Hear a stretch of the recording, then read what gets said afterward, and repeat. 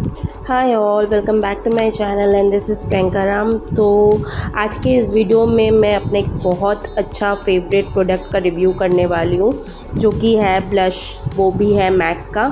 हाँ ये मैक का ब्लश है। मैं इसी के बारे में रिव्यू और डेमो देने वाली हूँ आपको। तो अगर ये ब्लश अगर कोई यूज़ करता है ना तो उसको पता होगा कि कितना फ़ाइन प्रोडक्ट है ये, कितना अच्छा प्रोडक्ट है ये। इसका जो कॉस्ट है, ये मेरे को ट्वेंटी फाइव हंड्रेड का पड़ा है बट अभी जो इसका एम आर पी है नायका में, वो around twenty seven hundred and fifty है। मैंने ये कॉस्मेटिक स्टोर से लिया था। मैंने मैक का बहुत कुछ लिया है मैक के स्टोर से ही। तो उसका जो मैंने वीडियो बनाया था ना, उसका मैंने लिंक अपने डिस्क्रिप्शन बॉक्स में डाल दिया, आप लोग जाके देख लेना। और आते हैं इस ब्लश के ऊपर। जिन लोगों को जिन लोगों ने यूज़ किया है, उन लोगों को तो पता ही होगा कि कितना धांसू प्रोडक्ट है ये। और जो लोग नहीं किए हैं, उन लोगों को मैं बताना चाहती हूँ कि एक बार अगर आप ज़्यादा मेकअप में इन्वेस्ट करते हो ना तो इसमें भी करके देखो। एक बार ही करके देखो, आपको समझ में आ जाएगा। बट हाँ शेड जो होता है, वो बहुत ज़्यादा इंपॉर्टेंट होता है। तो मैं मैक का प्रोडक्ट हुआ या कुछ भी थोड़ा एक्सपेंसिव नहीं मतलब ज़्यादा एक्सपेंसिव है ये तो ये कुछ भी ऐसा मेरे को अगर प्रोडक्ट परचेज़ करना रहता है तो मैं स्टोर से ही परचेज़ करती हूँ।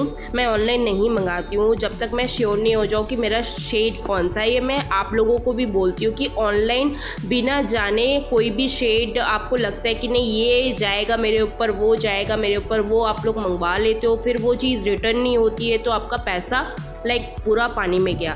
तो मेरे को ऐसे बहुत कमेंट्स भी आते हैं कि ये शेड यूज़ करूँ कि मैं ये शेड यूज़ करूँ ऑनलाइन कौन सा शेड मंगवाना ठीक रहेगा? तो मैं उन लोग को बोलना चाहूँगी कि आप स्टोर जाओ, थोड़ा मेहनत है, लेकिन अगर आप इन्वेस्ट कर रहे हो, हज़ार कर रहे हो, आठ सौ कर रहे हो, दो हज़ार कर रहे हो, पच्चीस, तीन हज़ार सॉरी पच्चीस सौ या तीन हज़ार, जितना भी अगर आप कर रहे हो लेकिन आप स्टोर जाके उसको अपने फेस पे देखो स्वॉच करके कि कौन सा शेड आप पे जा रहा है।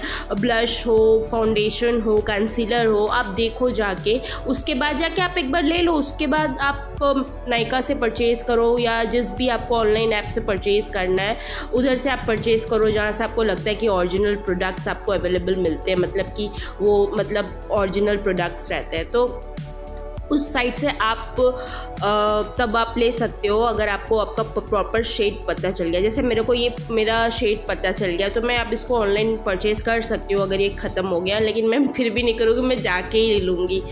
तो ये जो ब्लश है ना, ये इतना नेचुरल फिनिश देता है, इतना नेचुरल फिनिश देता है ना मतलब मैं क्या ही बताऊँ, इतना नेचुरल फिनिश देता है। मतलब मेरे को नेचुरल मेकअप भी करना रहा है तो मैं इसको ज़रूर यूज़ करती हूँ। ये, और ये मेरा ऐसा प्रोडक्ट होगा ना कि ये सबसे ज़्यादा और सबसे जल्दी ख़त्म हो जाएगा ये वाला जो ब्लश है। हालाँकि मेरे को इसको जल्दी ख़त्म नहीं करना है पर मेरा हो जाएगा मेरे को पता है।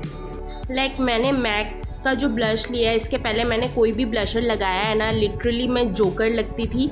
मेरे को नहीं समझ में आता था बट एक बार ये मैंने यूज़ किया ना, मैं मतलब मेरे को लगा कि मेरे को ऐसा लगता था कि मेरे ऊपर कोई ब्लश अच्छा नहीं लगेगा कभी, या ऐसा करके कुछ मतलब ऐसा हो गया था मेरा एक दो ब्लश यूज़ करने के बाद। जब, लेकिन जब मैंने ये यूज़ किया, उसके बाद से तो भाई क्या कॉन्फिडेंट आया ब्लश लगाने का। उसके बाद मैं कुछ नहीं भी लगाती हूँ तो जस्ट कॉम्पैक और ब्लश लगा के मैं निकल जाती हूँ। इतना अच्छा इतना अच्छा अच्छा है ये तो आप देख ही रहे हो कितना स्मूथ फिनिशिंग है इसका।